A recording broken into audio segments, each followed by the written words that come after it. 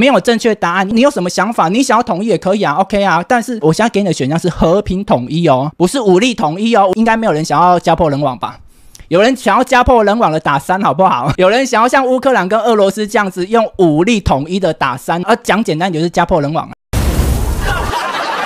二情报泄露，那个中国秋天对台动武，朱凤莲有出来说，中国多次指出，当前两岸的关系紧张，根源在于民进党不断的进行谋独的挑衅，阻挠中国统一和复兴。我认同的是，民进党确实正在做挑衅，不惜把台湾紧张或台湾的那种战事的感觉拉高，只为了选票啊，这是他们做的乐色事情。这个我同意。朱凤莲后来会讲说，哈，阻挠中国统一跟复兴。老大想跟你们互动一下，朱凤莲今天是这样讲的嘛？中国有耐心，愿意以最大的诚意，尽最大的努力进行和平统一。你想要台湾大陆？一边一国保持现状和平相处的，你打一。第二个是什么？第二个是像朱凤莲讲的，中国有耐心，愿以最大的诚意、最大的努力争取和平统一。和平哦，你愿意的，你打二好不好？一跟二来，我们选一下，这两个都没有战争，没有正确答案。你有什么想法？你想要统一也可以啊，OK 啊。但是我现在给你的选项是和平统一哦，不是武力统一哦。应该没有人想要家破人亡吧？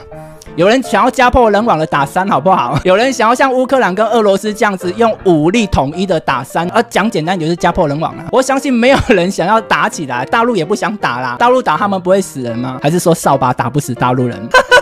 大陆想说，哎，他们那边有一个行政院长说用扫把打我，应该不会死人吧？哦，其实还蛮多打二的哎，我相信打二的人哈，应该是说真的很难看到国民党可以振作起来啊！如果给民进党哈再执政下去哦，宁愿统一啦，乱成这样，宁愿统一啦。打二的人，你是刚才老大讲，你打六好不好？就像老大之前讲了，如果今天是韩国瑜当总统，两岸和平相处，你会想要统一吗？说真的，我听我的长辈在讲，就是统一是早晚的事情。